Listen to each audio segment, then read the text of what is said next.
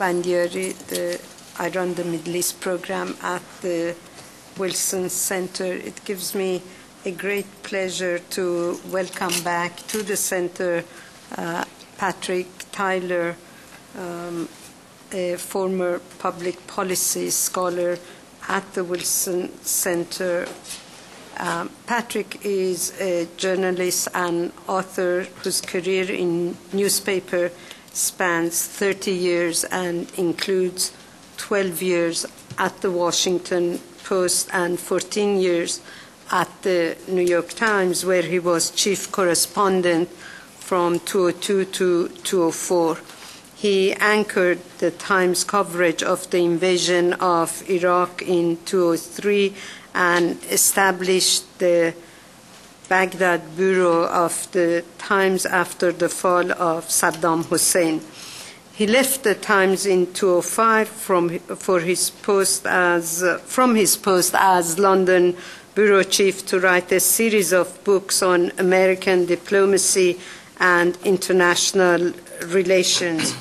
Uh, his two previous books are A Great Wall, Six Presidents and China, which won the 2000 Lionel Gelber Prize for Best Book on International Relations, and his first book was Running Critical The Silent War, Rickover, and General Dynamics. This book, The World of Trouble, the White House and the Middle East from the Cold War to the War on Terror, is a must read. It's a fascinating account of uh, five, five presidents who had to deal with the Middle East, and I must say, I was surprised to see that. I thought this is a phenomenon for the Middle East only, that when a new president comes to power, they'll undo whatever the previous president has done. But I noticed that this had become a pattern here too, and it was uh, uh, quite disturbing. This really, as I said, is an amazing read, and uh, once you start the book, you can't uh, set it aside. I mean, it is you get enmeshed in it, and it's it's just superb. So, with that in mind, I think we'll ask Patrick to speak to us, explain the book in maybe 35 minutes, and then we'll open the floor to your questions and uh, comments, and then he will sign books. Patrick, yeah. Thank you very much, Haleh.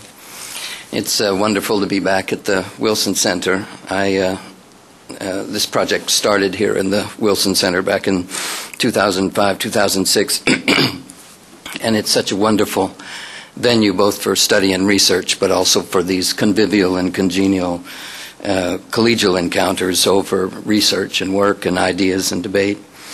Um, we arrive here today uh, with the promise that there's a new era in the Middle East, uh, but it uh, yet uh, uh, flummoxes us on what to call it. If, you, if you take a comparison between today and six months ago, there's certainly a completely different feeling about the prospects for the United States in the Middle East. But in fact, um, uh, very little has happened yet. Uh, one is tempted to arrive at a venue like this to try and get a cell phone number for George Mitchell and ask him what the hell is really going on in the in the Holy Land and, and whether he's carrying a new message to Bibi Netanyahu or whether he knows when Syria is going to break or what uh, what uh, um, Bashar al-Assad is going to do. Um, uh, but uh, uh, we still don't know. We don't have the framework, uh, the architecture of this new era, just the great expectations uh, that it's going to be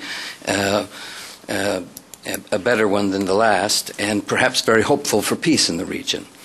Um, the um, I've been traveling back and forth to the Holy Land for the past year, spending a month at a time doing interviewing for a new book which is a, a, profile of the Israeli security establishment that hasn't taken shape yet, so I won't describe it in any more detail than that. But I must say, I've never seen so much optimism about uh, over the prospects on getting a deal between Israel and, and Syria, and that in itself could establish a real new momentum in, in the region. And momentum is everything uh, in, in the Middle East. So expectations couldn't couldn't be higher. My book a World of Trouble is a history of American presidents since Eisenhower. You said five. I think we have to count up. There's more than that. I think it's ten, but I collapsed a couple of administrations together. Uh, um, but it's at least eight. Um, uh, it's a. Um, it's really a, a profile in presidential frustration uh, because the common thread in our history since World War II is each president has come to office with very high hopes uh, uh, and very big plans to do something uh, about the Middle East. And the, and the problem is, in, in, the simplest form, is that it's very difficult for a new chief exec- executive who arises in our from our basic political context, this island between two oceans in which we, uh, from which we engage the world, very difficult for him to get the education he needs and for him to uh, uh, find his way in a policy sense to prepare himself for a very complex set of countries, set of issues, uh, and set of personalities. Um, a World of Trouble is a, it's a narrative that documents the fact that the person in the Oval Office uh, has not had an easy time. For 60 years, they've the presidents have basically been trying to make peace or just prevent war, and the record of success is thin. I think one, one reason is what Haleh mentioned a, a minute ago. Each president certainly does want to distinguish himself from his predecessor. It's a very human trait. Uh, contrast is, is the engine of American uh, politics in, in, in, a very real sense. But there's also a more subtle explanation. That is, American policy in the Middle East has had no overarching imperative of national security similar in intensity uh, to what drove us during the Cold War. The intensity of that threat of mutual nuclear annihilation is what focused American leaders on basic fundamentals diplomatic engagement with the enemy and profound alliance structures uh, across the Atlantic. In the Middle East, we have had interests, interests in oil, interests in keeping the lines of communication open through Suez to connect Europe to Asia, interest in managing the emergence of Israel in a manner that doesn't destabilize the region, interest in controlling the arms race, uh, especially the spread of nuclear weapons and other weapons of mass destruction, interest in fostering development and prosperity, not for any sentimental reason, but because prosperity is the thing that can tame tame the fires of grievance and post colonial anger that was uh, common in the region uh, after World War II and still exists in a deeply embedded uh, psychological sense today. So, imagine the presidential frustration for someone like uh, Dwight Eisenhower coming into office uh, in the midst of the Korean War, in the midst of something he couldn't even recognize at the time, which was the rise of Gamal Abdel Nasser in Egypt and pan, the pan Arab movement that was coursing across the region, the overthrow of, of Mossadegh in Iran that was soon to take place because Churchill couldn't stand the fact that that swine had taken British oil interests in Iran. Uh, and you had 700,000 Palestinian refugees living in squalor from the 48 war. Nothing had be been done about them. And Israel was already a feisty power uh, by the mid 1950s, looking to exploit any collapse uh, by the young King Hussein across the river uh, in Jordan so as uh, to seize the West Bank, which Israel saw, David Ben Gurion saw as the natural boundary of Israel. Uh, the CIA at the time thought Nasser might be the West's man uh, in the Middle East. Uh, here was this charismatic figure that united uh, the Arabs in such a profound way and had such a strong voice that crossed boundaries and, and touched the uh, uh, Muslim and Arab uh, instincts across the region. and uh, it was easy to see how uh, Kermit Roosevelt and, and th- those who were responsible at the time, Allen Dulles, of dealing with Nasser, what potential he had uh, if he could be drawn into the Western camp to oppose the Soviet uh, uh, interests in, in making advances into the region. And boy, were we wrong about Nasser. When Eisenhower looked out across this landscape, his political instincts told him that East and West, the superpowers, would be competing for the hearts and minds of millions of Arabs and Muslims and Persians. Uh, now that we are one superpower, uh, the struggle remains for hearts and minds uh, in the region. Uh, but the competition has changed, and I don't think you can describe it any more succinctly than it's kind of us versus the fringe. Uh, Eisenhower wanted to build uh, hydroelectric dams uh, uh, across the Jordan Valley and across the barren hills of the arid hills of the of the West Bank, thinking that a greening of the Holy Land would be the thing that would draw the Palestinian refugees out of their camps and solve that most festering problem early on uh, and that peace would follow. And he had sent a, a very creative uh, uh, emissary out, Eric Johnston, uh, uh, to talk to both the Israelis and the Arabs about how to arrange the water rights in the in the Jordan. How to bring hydroelectric power, how to make that blossoming of the region agriculturally into a political instrument of reconciliation. And, and uh, um, uh, who's to say exactly why it failed? It was basically overrun by time. It was overrun by budget constraints in the United States to fund the, what was essentially a Tennessee Valley Authority scale project uh, in the region. Uh, they divided up the water rights in a way that, uh, uh, that actually got a, a, remarkable amount of agreement. Um, but it stopped there and was soon overtaken by the events as Nasser sought to arm himself in a profound way and, and touched off the events that led to the Suez Crisis in 1956. Jumping ahead a little bit to JFK, uh, he learned during his transition that Israel was secretly building a nuclear reactor complex in the Negev desert that uh, would be able to produce atomic weapons someday. And we have one of the leading authorities on this subject in the room here today, my friend uh, Avner Cohen. Uh, Kennedy wondered, wondered especially uh, after the Cuban Missile Crisis, how he could work to enforce a non proliferation regime in the world, especially with China and India coming along uh, as would be nuclear powers, if he could not prevent tiny Israel uh, from getting uh, the bomb.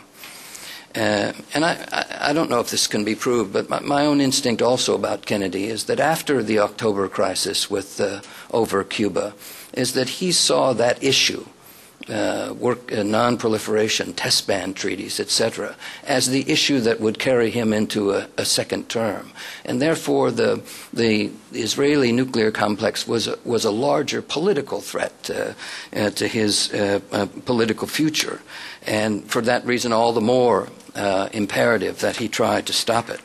Uh, Amos Elon, the great Haaretz uh, correspondent, once told me that he and Scotty Reston were cruising through one of the hallways in the West Wing one day in 1963.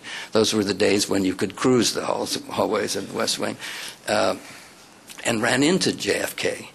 Uh, who had just uh, been uh, briefed on the latest reports about the Dimona nuclear reactor and was livid and determined in his comments to them that he was going to roll this back. He was going to convince Ben Gurion that this was a disaster for the region, that this would incite eventually, if not tomorrow, a nuclear arms race. It would incite the Soviets perhaps to put nuclear weapons into Egypt. Amos said he went back to his office and typed up a dispatch about this in, in, uh, remarkable presidential encounter and sent it off uh, to his uh, editors and to the censor in Israel, and it never saw the light of day. It was spiked immediately. And Scotty Reston, uh, we, we, don't know from his records, uh, we certainly know from his uh, from his published work that he he never wrote about this encounter with JFK, but the Times during the 60s did very uh, aggressively follow this issue and broke some of the first important stories about Dimona. In 1973, uh, Leonid Brezhnev literally got Richard Nixon out of bed at San Clemente during the summit uh, uh, of that uh, summer when Brezhnev had come to sign the much va- ta- uh, vaunted uh, agreement on the prevention of, of nuclear war.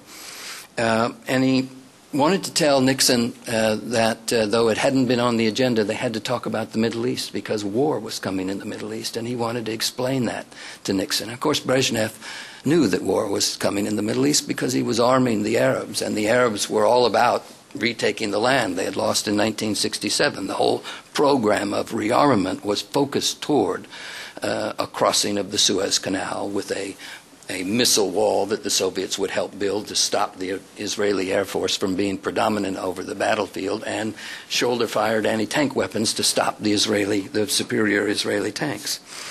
Um, but uh, one has to look uh, at, uh, and there may be some Cold War experts uh, in, in, in the room to whom this would make a great deal of sense, that at the time Brezhnev was also testing detente. Detente was already under assault in the Senate. Scoop Jackson was a vocal critic of it. Um, but Moscow had no interest in seeing a second round of war. I mean, there had just been 67, then there had been a long war of attrition.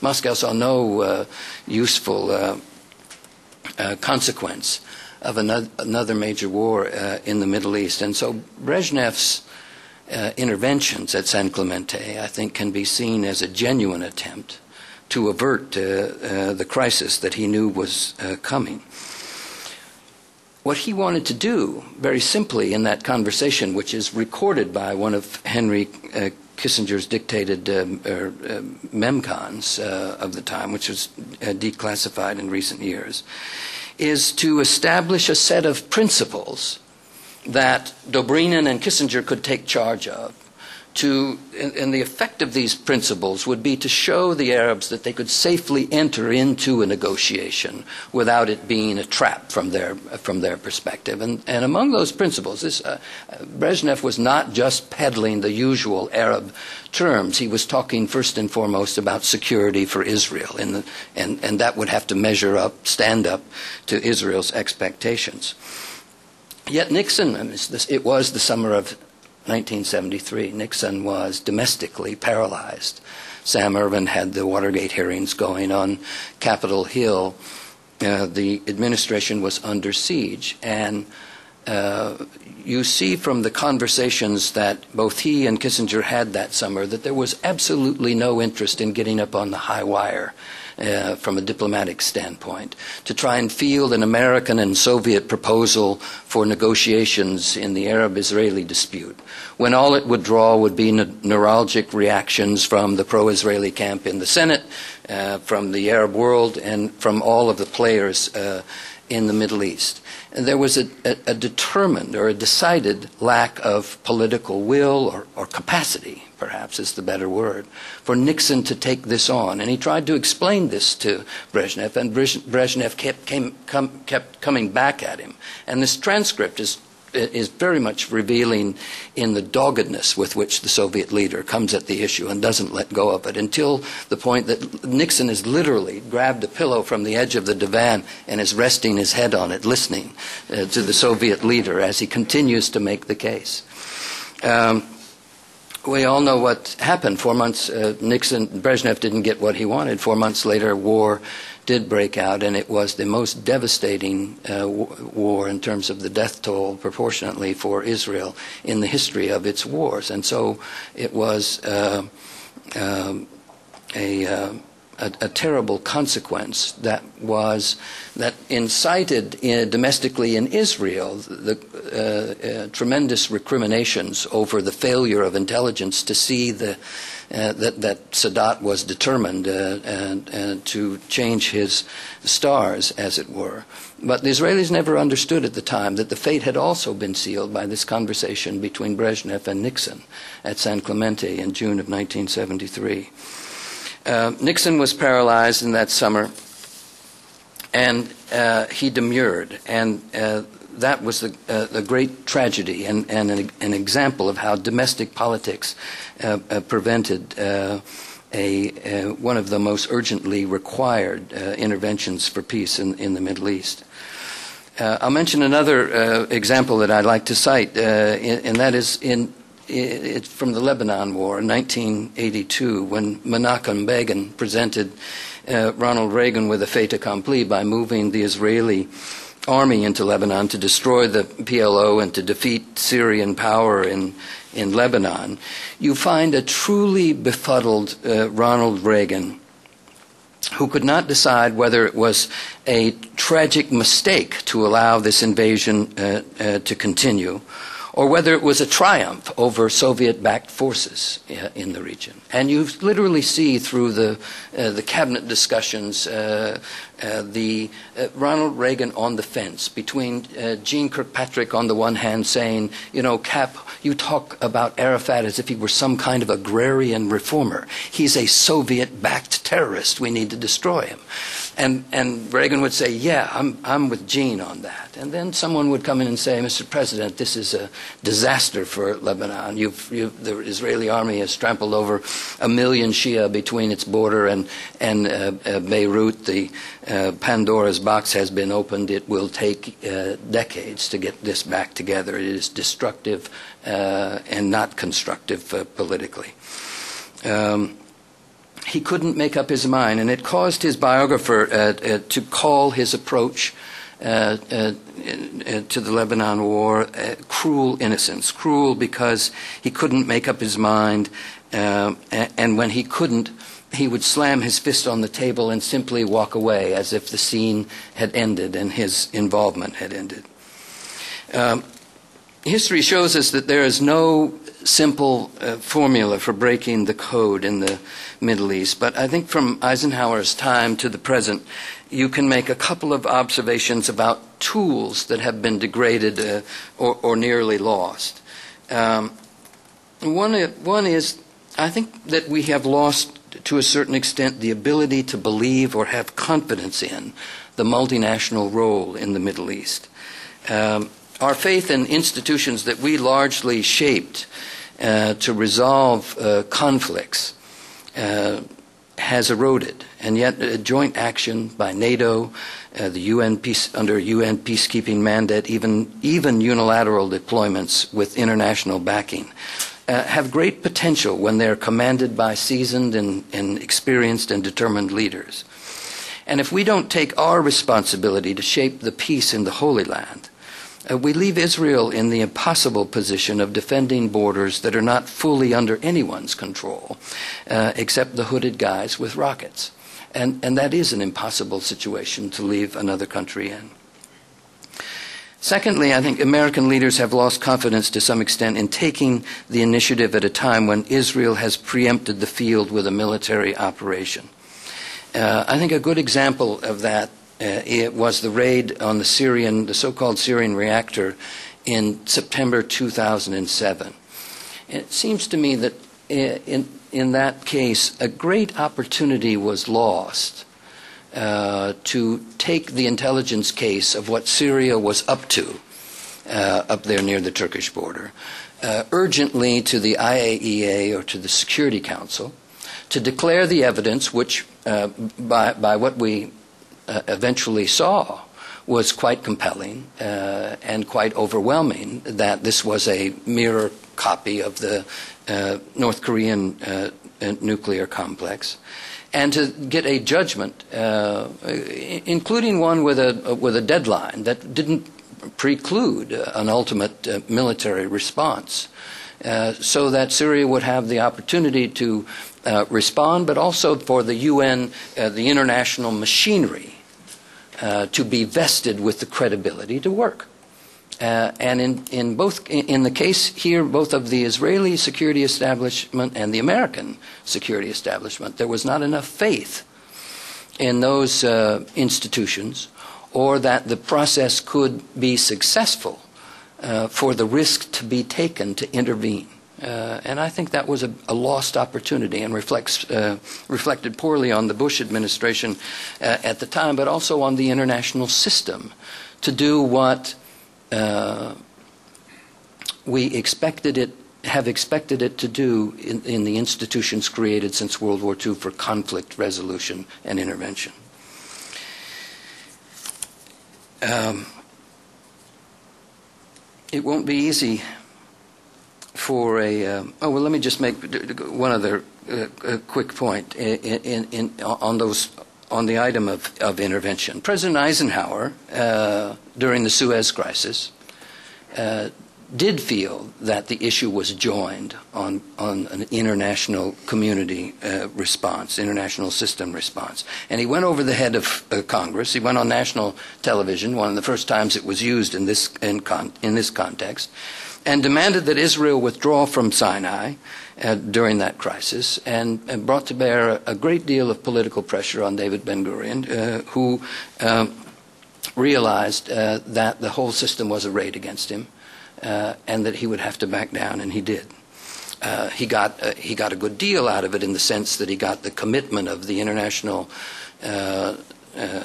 uh, uh, uh, community to the concept of freedom of navigation in his southern ports, which was important to Israel. But it was not the key issue of the war. It was a it was a it was an, almost an afterthought, and it, it, was a, a, a face saving uh, gesture by the Eisenhower administration that helped close the deal. Um, LBJ, uh, looking at the conquest in 1967 of Israel, did, as, as far as I can determine, uh, and maybe there's someone in the room that can add something uh, to this question, uh, didn't spend a great deal of time considering whether to do what Eisenhower had done. And it's, it's not clear that in 1967 even Eisenhower had, because uh, the circumstances had changed so dramatically. And there was a sense that the Arabs, that Nasser had put his army into the field, brought an enormous 80,000 man army into Sinai, threatened to uh, throw it against Israel's borders, and uh, Israel preempted uh, with spectacular results. And once it had uh, was holding Sinai, the Golan Heights, and the West Bank said, now we will trade land for peace, and the, and the cost of the return of territory will be permanent peace uh, between Israel and its Arab neighbors. It was not unreasonable to expect uh, Johnson to think that that was a fair and equitable way to approach it at the time. Uh, but would that he would that he had had the wisdom to see uh, the difficulties uh, it has caused for the process since.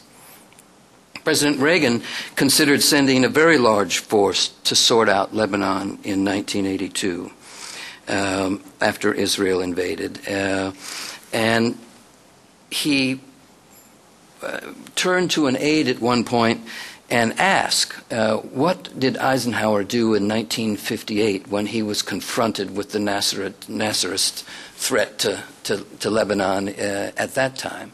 And one of his young aides, a, a Navy lieutenant commander named Phil Doerr, said to him, Well, uh, President Eisenhower sent 19,000 troops into Lebanon, stabilized the situation. They stayed there as long as they needed to stay, and then they withdrew when the threat re- uh, receded. And uh, President Reagan looked out the window for another minute and then turned around to his young aide and said, Well, you know, I didn't have the War Powers Act to contend with. And he just shook his head and walked out. Uh, it won't be easy for a new president, uh, but the positive uh, reality is that there are there are truly soaring expectations for U.S. diplomacy uh, in the Middle East, and that uh, creates its own uh, imperative and opportunity for American diplomatic activism. So uh, we are able to hope for the best in the region uh, while continuing to prepare for the worst. And so now I would like to pause and, and, and, and take questions by quoting my favorite line from Yitzhak Rabin, who used to stand up at political gatherings and say, Now the good news, I am the last speaker. thank you. Thank you very much, Let me ask you uh, the first uh, question. Why, I mean, why was Bush too so disinterested in the Middle East, and why did he think that by just not getting involved, the problem will be just solved by itself?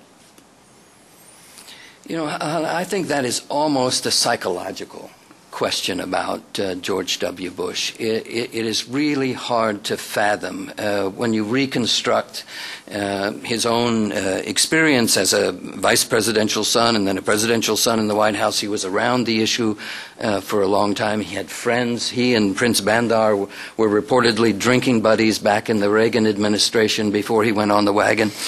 Uh, Bandar, I don't think, ever went on the wagon. and he had seen the, he, you know, he had um, seen his father deal with the issue at the United Nations. Uh, he had uh, been uh, politically sentient when Jimmy Carter went through the Camp David process. Uh, but I know he came into office saying to a lot of people, as almost as if he had a chip on his shoulder, that you weren't going to catch him spending hours at Camp David with Middle Eastern leaders or turning the White House into Motel Six for Yasser Arafat. Um, or, or, or expending the, what little political capital he had on butting heads against a Middle East problem that by the time he inherited it looked even more ferocious and complex than the one that Bill Clinton had taken on and had failed at in his, in his estimation. And so I, I, think also there's, there's a question here of domestic, his, his, own perception of his domestic constituency. Also, that it was not a good issue in which he would take on Ariel Sharon uh, or set off uh, the, the conservative Christian base or the pro Israel base in Congress, that this was all part of his natural political base, and he saw no future in it.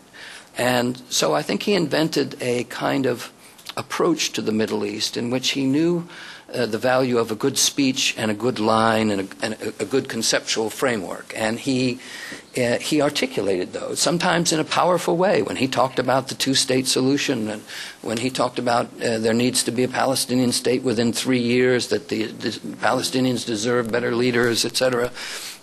It sounded like he was interested in, in, in uh, determined and, and uh, concerned, and yet he never mobilized the bureaucracy the way the presidents had who uh, who uh, were were determined uh, to make progress in peace, and it just uh, by the by the end of his eight years, it was almost kind of a cynical joke that he was. Uh, um, constitutionally interested in the issue uh, to have and, and, to invest the kind of time that was necessary to solve it.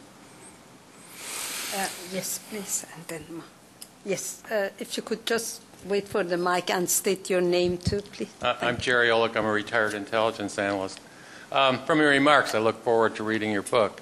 Uh, but my question has to do with uh, there being already an imperative, the, the, nuclear imperative and the oil imperative in the Middle East, uh, that should be enough to make us really want to help shape peace there, as you say. But in, in my view, and that's my question for you, uh, what your view is on this. The pro-Israeli bias, especially in Congress, but among presidents as well. Take, for instance, what you described in Nixon and and uh, Brezhnev, when Nixon says, you know, the domestic situation, the constituents aren't going to buy this thing, we get deep into it. Or in the case of Bush, W., uh, that he was surely driven to some extent to keep his hands off the Middle East because of the strong pro-Israeli bias um, in his administration and is still in Congress. To what degree, uh, to me, that's a very, very important impediment for us to play a big role in the Middle East. Can it? Do you agree? And what can be done about it if you agree? No, I, I really don't agree. Um, uh, certainly, there is a pro-Israeli um, constituency in the Congress, in the American public. Uh, the, if you go back to uh, the creation of the Jewish state uh, uh, and, and the, the end of the war, um, the groundswell of American opinion supporting uh, the creation of Israel was much broader than the Jewish community in the United States. It, it, is, it is a bigger issue than that. Uh, now, uh, in, uh, I guess uh, I've, I've, heard Tom Dine, who was here uh, when I was a, a, a, fellow here, and, and I once interviewed about the rise or the of the effectiveness of AIPAC during the 1980s when the when the Senate went Republican, and up up until uh, uh, that particular decade, Tom said that the focus of, of, of AIPAC had always been on having a secure base, a rather small base of Democratic uh, members, mostly in the Senate, who were the core of the, of the um, uh, pro-Israeli camp uh, in, in the American legislature. He said that, that what what, what happened in the, uh, in the 80s was the sense that it could be much broader, that, that the constituency wasn't tapping its natural fulfillment, and, it's, and it has grown. Uh, I would only argue that there are lots of big constituencies out there uh, that affect American public policy. This is one. It, it, has been a prominent one.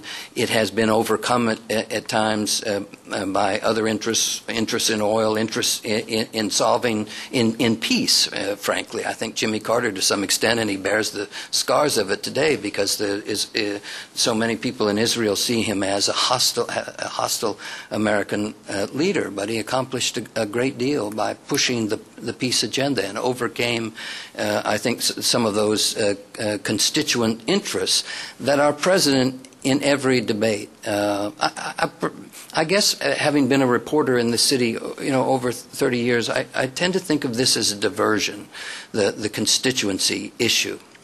There are lots of big constituencies in Congress, and there are lots of counter constituencies that call uh, the issue and that um, uh, develop counter strategies to point out when uh, constituency policy uh, politics gets out of whack. Uh, and so I think our system uh, is the best controller uh, against it. Maha Kadura from the Wilson Council. And looking back to the history of the relation between the White House and the Middle East, can you see a possibility now to have the White House to have a very good relation with Israel and to try to solve the resolution, the two-state uh, solution, which I think it is a great if there is a possibility which uh, this solution might change the image of United States and the Arab world and the Islamic uh, world.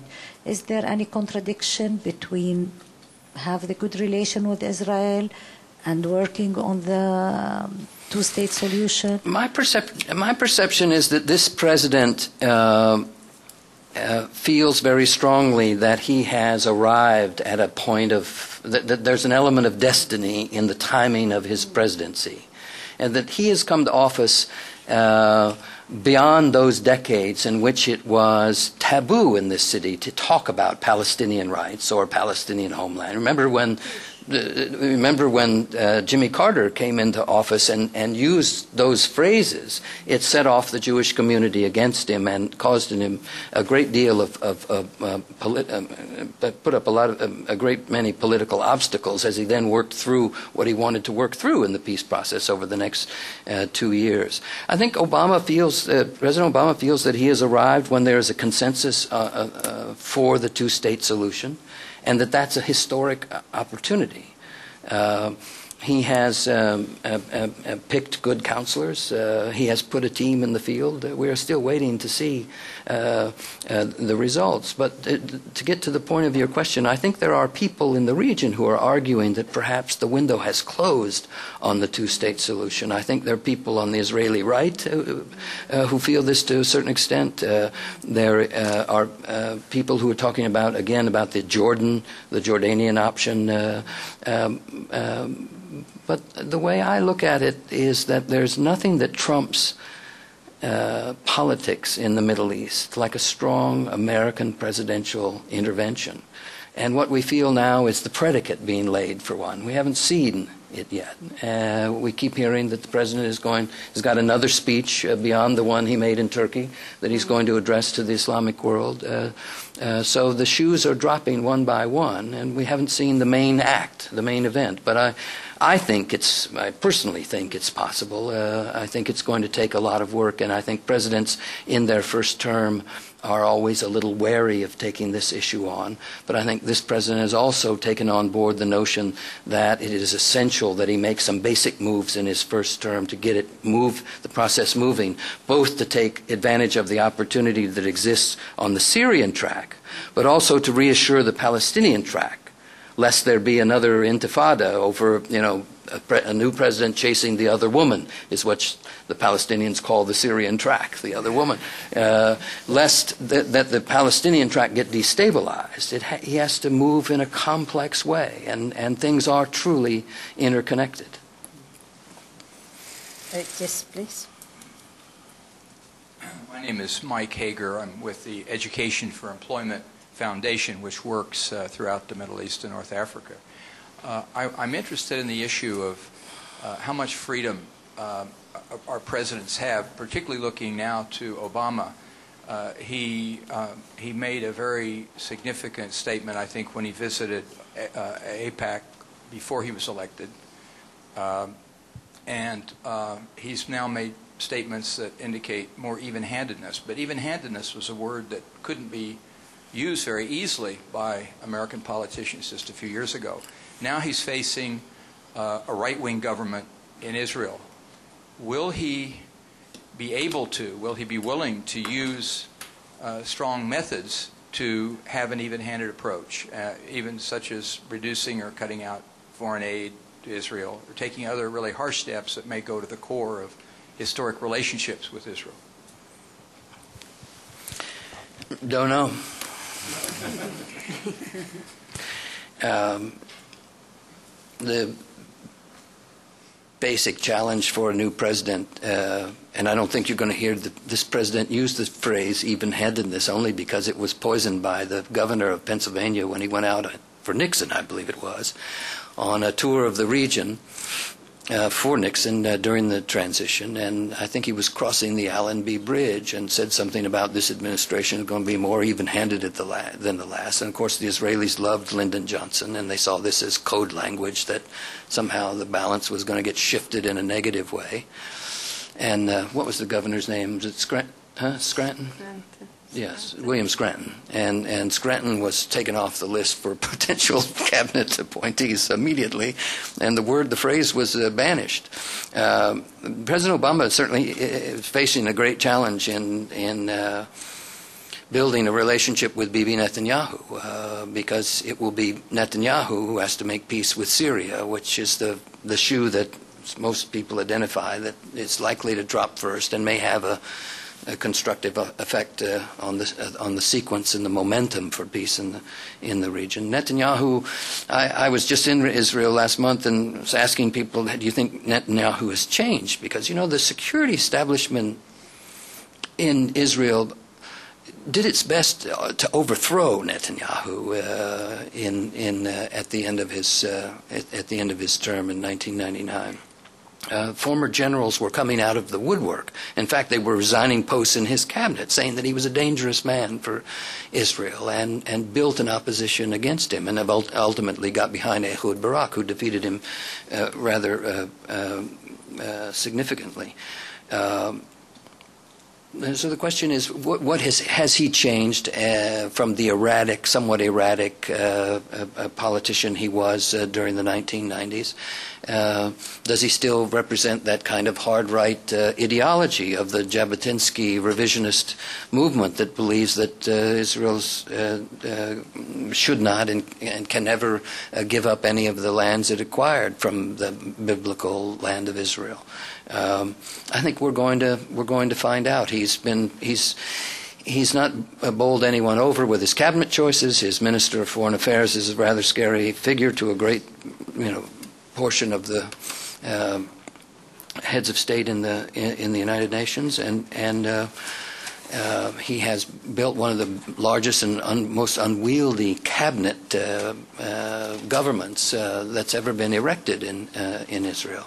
Uh, but he is the one who pursued quite vigorously in complete secrecy a, a, deal with Syria in 1997 and 98, and I, I think that it is impossible to regard a political figure like that and not say that he must have learned from his past mistakes and that we're going to see a different iteration of the man.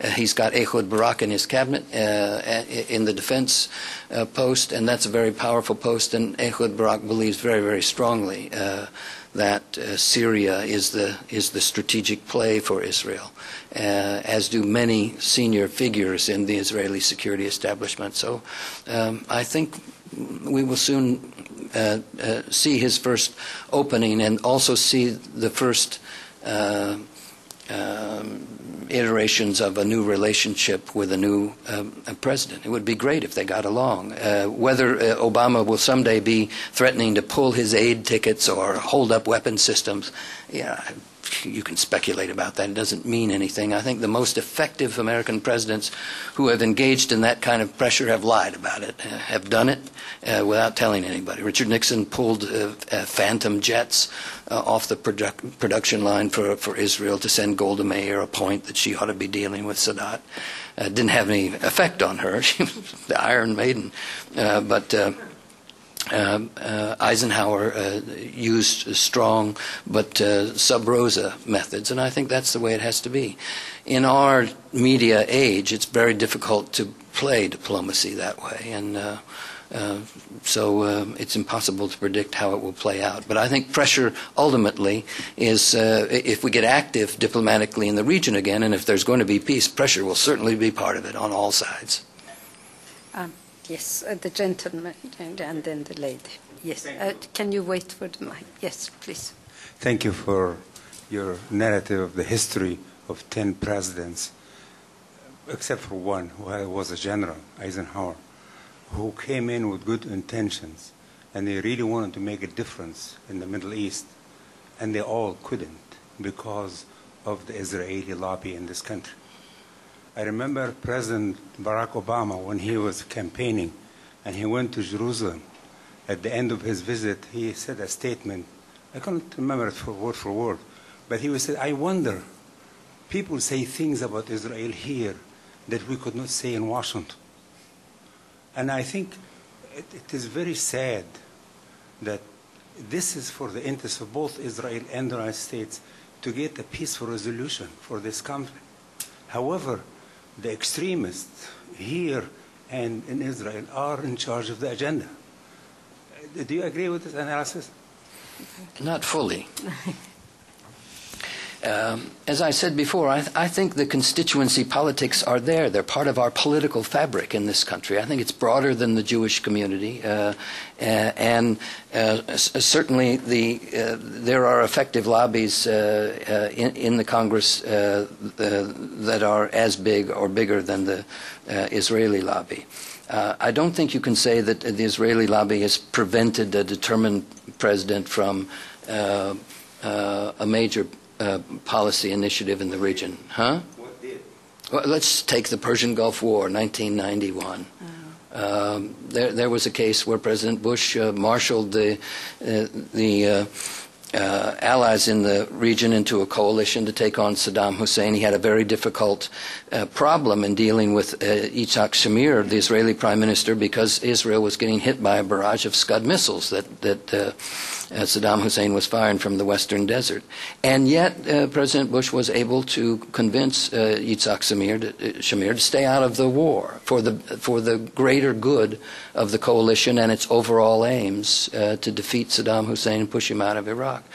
Uh, President Carter uh, got the F-15 sale through the Congress despite the best efforts of Tom Dine and, uh, and AIPAC. I think he'd, he, he'd admit that he was, uh, he was defeated. And similar uh, uh, numbers stacked up on the AWACS sale a few years later in the Reagan administration.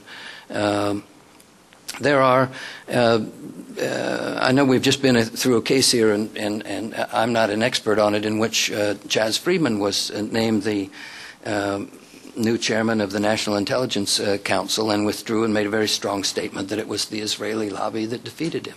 And uh, since I'm not an expert, I, I shouldn't say this, but my sense is is that it was an overstatement. Uh, uh, and, and I don't think that uh, the lobby is dictating uh, appointments in this administration. I think it's inf- influential, but I also think the oil lobby and the auto lobby. Uh, you ever covered John Dingell's committee when an auto industry issue was was uh, in the air? Uh, there are lots of uh, lobbies, and it's we, we, we have those kind of constituent politics, and and uh, as I said, there are plenty of loaded guns uh, to counter them, uh, and to uh, um, kind of shine the light on them when they when it, when their sense is that they've uh, overreached. And the lady, and then, yes. I have to say I've been very surprised by both the questions and the, the focus because given what the title of this talk was, it was the Middle East from the Cold War to the War on Terror. It wasn't um, what I think is last decade's issue, which is the Palestinian-Israeli conflict. I'd really like to hear what you, you, you talk about Iran, uh, nuclear, a nuclear Iran and the destabilizing effect that has on the entire political region. Um, I should have introduced myself. I'm Carol Greenwald. I'm on the board of JINSA, the Jewish Institute for National Security Affairs.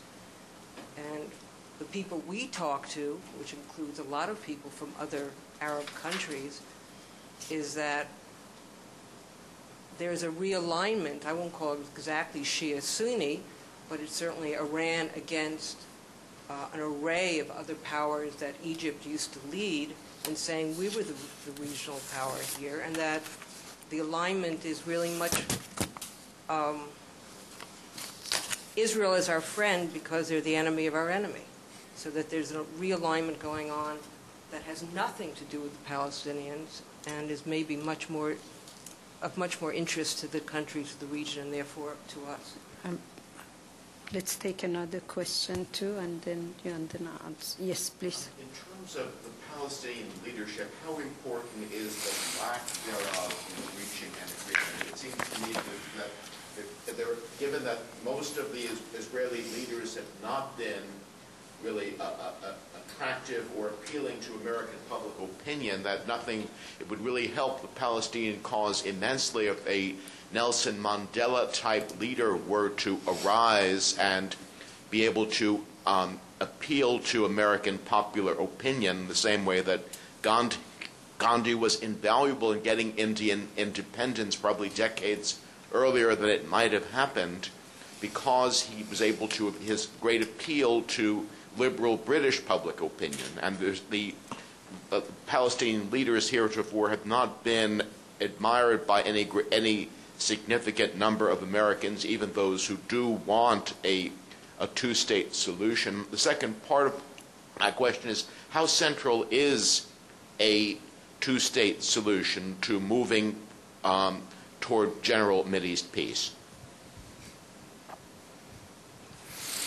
Well, let me first start off with an apology. Did you say Carol? Okay, to, to, to Carol, uh, all I can say is, is that I think I called this a history. So I've written a history of American presidents dealing with the, the region. You're quite right that Iran, uh, as we sit here today, is, is the looming uh, uh, threat over the, the nuclear program, is the looming threat perception uh, over the region. Um, but but I, I would argue uh, the, uh, about its, the interconnectivity of the heat and fire of the, Israeli, the Iranian Revolution today uh, with the single issue that has animated politics in the region since 1948, and that is the Arab-Israeli dispute.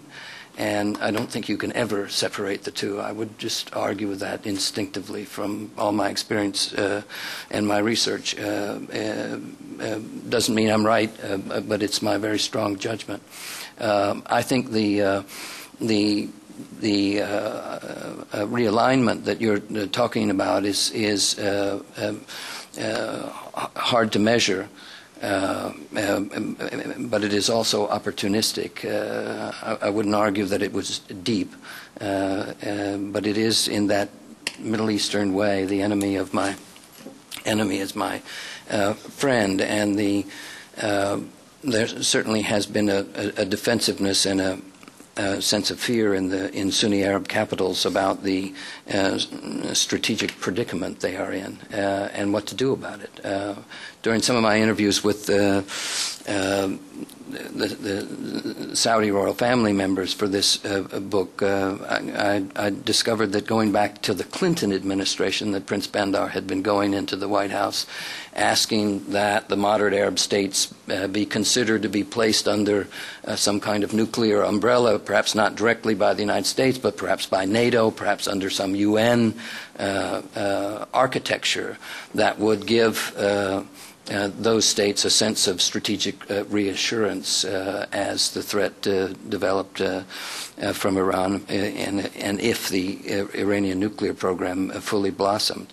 Um, hard to say where we're going on this issue. I noticed my former colleague David Sanger uh, had a nice piece uh, about the new administration adjusting its its policy approach to Iran on the nuclear question, and that Hillary Clinton's people the next day trying to roll it back and saying we weren't reconsidering that uh, point. Uh, um, the uh, Dennis Ross is uh, is circling through the administration and the region with a policy whose architecture is, is, still not clear to um, uh, the public or anyone in Washington.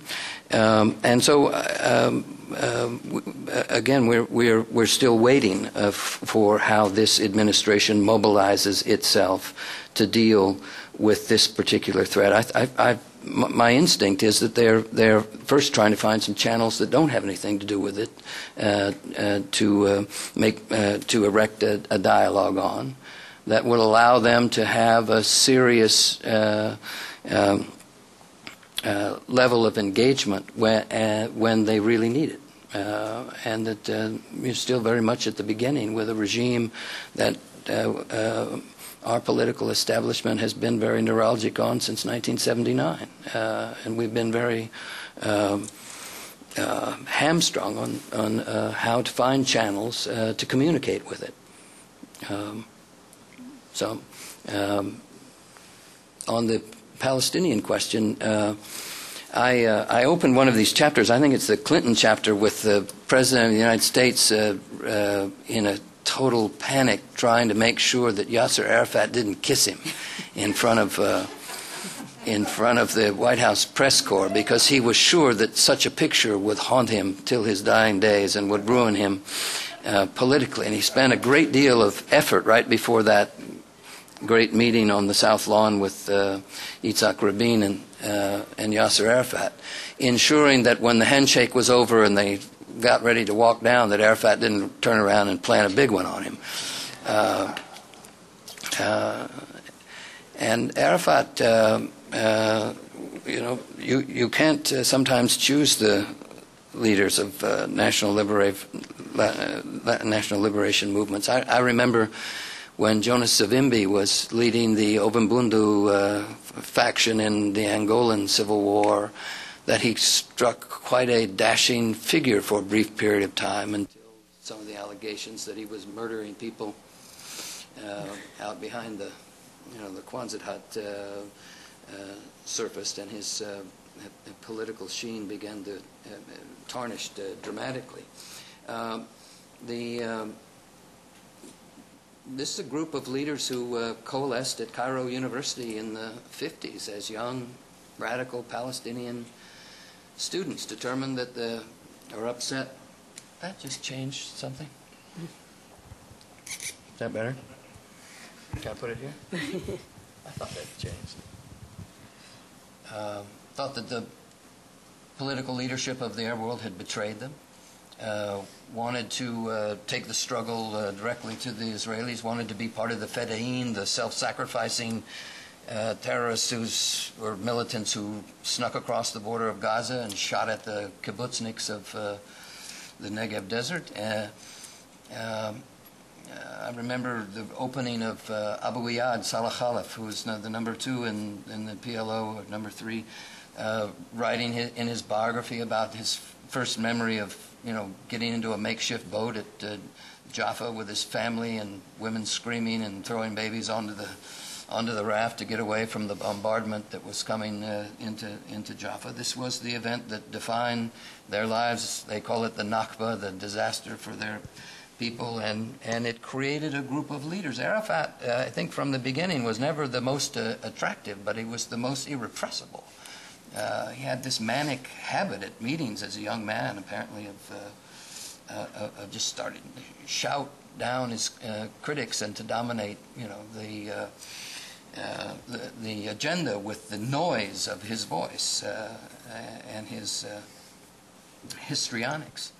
Um, um, there are some uh, quite remarkable uh, uh, figures in the, if you've ever attended a Palestinian National uh, uh, Congress where all of the leaders, all of the Abus get together, there are some, uh, you, you see the diaspora quality of the Palestinian movement. There are, you know, businessmen from Havana or from Buenos Aires or all the places around the world where Palestinians dispersed, uh, started new lives, uh, built businesses, made money, and supported their cause over there in the Holy Land at a, at a distance, uh, but didn't get involved because it, there was no way to do it. There was no way to bring their money back to the Holy Land to find a Palestinian state in which to build a house and build a business uh, that could prosper.